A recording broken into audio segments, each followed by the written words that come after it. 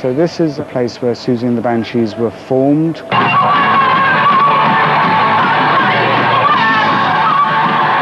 We'd been sort of going to see the Pistols for about three or four months and we just started talking about forming a band together and um, really it was it was uh, Billy Idol who he could play guitar and he was already I think he already had a band at university and he was eager that we we kind of got the whole thing together and Siouxsie was going to sing and Billy was going to teach me to play bass and we were just going to find a drummer. Who's your manager? Can I have the name of your manager? Nellie's over there. Malcolm McLaren. Malcolm McLaren's our manager.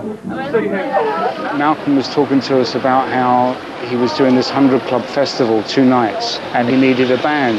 And Billy just chirped up and said that we had a band, even though we hadn't. And so there we were on the bill and, um, you know, it suddenly became a reality and we had to do something about it. This is where we met Sid and persuaded him very easily to uh, play drums with us for 20 minutes in uh, a shambolic version of the Lord's Prayer.